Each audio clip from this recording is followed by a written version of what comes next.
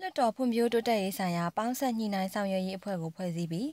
အဲ့ဒီအဖွဲ့ဥက္ကဋ္ဌဖြစ်ကော်မှုမြို့နယ်မဲဆန္ဒနယ်မှာဒေါအောင်ဆန်းစုကြည်ကဆောင်ရွက်မှာဖြစ်တယ်လို့ပြည်သူ့လွှတ်တော်ရုံးအမိန့်ကြော်ညာစာအရသိရပါဗျ။အဲ့ဒီအဖွဲ့ကိုအဖွဲ့ဝင်၈ဦးနဲ့ဖွဲ့စည်းလိုက်ပြီးဥက္ကဋ္ဌဖြစ်ဒေါအောင်ဆန်းစုကြည်အဖွဲ့ဝင်များဖြစ်တောင်ကြီးမဲဆန္ဒနယ်မှာဒေါက်တာတန်းငွေမိုင်းပြင်းမဲဆန္ဒနယ်မှာဦးဆိုင်ထွန်းစိန်ရှားရောမဲဆန္ဒနယ်မှာဒေါ်ဝင့်ဝါထွန်းပြည်အောင်စုလွှတ်တော်ရုံးမှာညွှန်ကြားမှုချုပ်ဦးကျော်စိုး